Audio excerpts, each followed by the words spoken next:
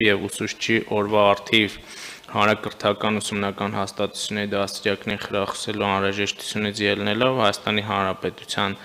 կրթության, գիտության, մշակույթի նախարարությանը հատկացնել 42 միլիոն 166 հազար դրամ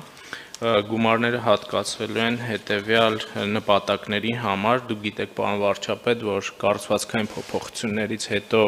սպորտի նախարարության այդ հատվածը շարունակում է մնալ այլ մասնաշենքում եւ ըստ տեղափոխման համար մեզ անհրաժեշտ են միջոցներ ընթացիկ աշխատանքները իրականացնելու համար։ Հիմնական տողերը, որով գումարներ են հատկացվելու շենք շինությունների ընթացիկ նորոգման աշխատանքներն են, հերախոսային միասնական կայանի ուրեմն հարցն է, անցակետային հսկողության սարքերն են, անվտանգության սարքերն են, ցանցային զանազան համակարգչային ծրագրավորման փաթեթներն են, ինչպես նաև սույն նախագծով ուսուցչի օրվա հետ կապված միջոցառումներ անցկացելուց հետո